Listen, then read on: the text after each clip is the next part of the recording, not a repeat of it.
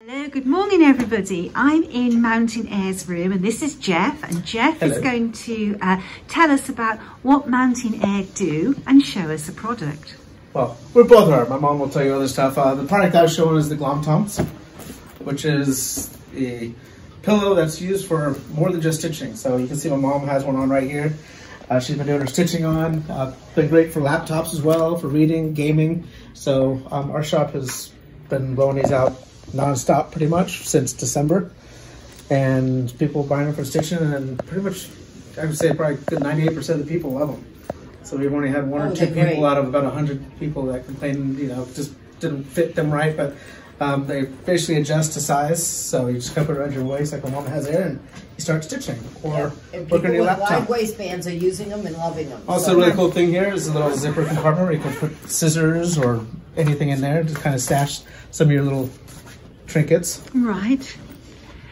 And how much do these retail for? Uh, the retail is thirty dollars. Retail. Just $30? yeah, yeah. They were when they first came out a few years ago. They were about sixty. Yeah. But he's um, giving us a good deal on thirty for retail, and just trying to get them out. There's very limited supply for pretty much this weekend. They'll be wholesale. Yes. Yes. So you just put this on your lap. Yep, it just tucks right in your thing. I, I stitch. I love the way it holds my arms so my shoulders and my hands don't get tired. I put my magnet board right here and my cell phone right here. And I'm just, I like it as much or even better than Sleep a lap stand. It's so comfortable. Oh, It is so comfortable. It's multi-use. And I also put my Yeah. laptop on, like when I'm working from home and, I, and I'm in my recliner, and I put my laptop on here and my mouse over here, and I put my laptop on the side. It works and it's wonderful. Absolutely wonderful. well, that's really interesting. I've never seen one before, but I can really see how useful they could be.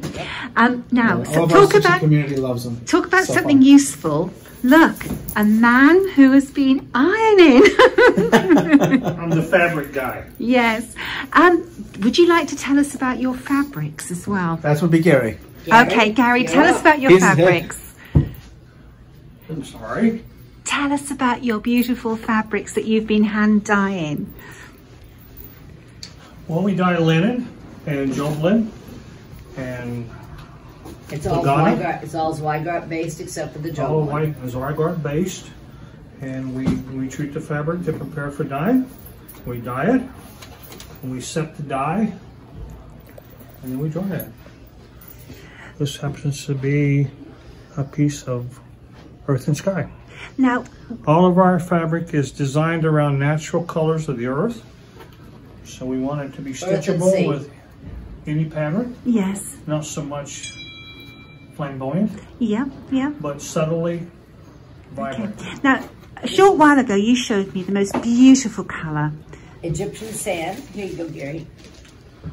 Yeah, This is Egyptian sand, and this is uh, Dreams pre- of spring. Prelude of spring. Yeah, it's the Egyptian sand that I really loved because obviously I'm into reproduction samplers and I could see the, you know, my group of friends who are going to be watching this video are going to love these colours. Dye's pretty close. It depends on which count and which fabric it is, as how the dye will absorb. Right. I really love this colour, but there's also some other really gorgeous colours that would that will appeal to people who. lot of dyers don't do Yeah. This is a Jobelan fabric, which is a an even weave for people that have trouble with Can we do the finding finding um, the holes. Yeah, yeah, that's really lovely. So And then you were telling me about your best seller is the sort of sand. that's the how about the um, the minty aqua color? Oh, that's the shops have been buying that on the pre-orders when we ran it through.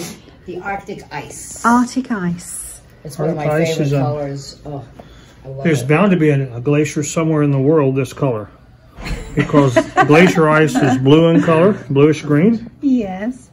Well, where I live in Cornwall, when the sun shines, the water is often Yeah. that colour. So you could call it Cornish aqua. Thank you, Gary. It's really lovely. And I'm Thank looking you for forward to coming by. trying the um, Glom Tom. Glom Tom. All right. Life, life is short. Stitch on. Okay. Thank you. Bye bye.